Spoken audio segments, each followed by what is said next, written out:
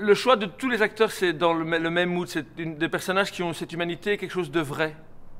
Peut-être c'est pour ça qu'on se retrouve dans des personnages qui ont fait terrain connu. Il y a quelque chose de, réel dans un et dans l'autre. C'est des personnages qui ont, quand on les voit, il y a quelque chose de, naturel, de vrai qui sort automatiquement et on n'a pas l'impression que c'est trop structuré, trop composé, trop. On a l'impression, alors qu'ils font des choses qui ne sont pas eux-mêmes, ils ne sont pas forcément exactement comme, comme on pourrait les connaître parce qu'ils passent d'un film à l'autre.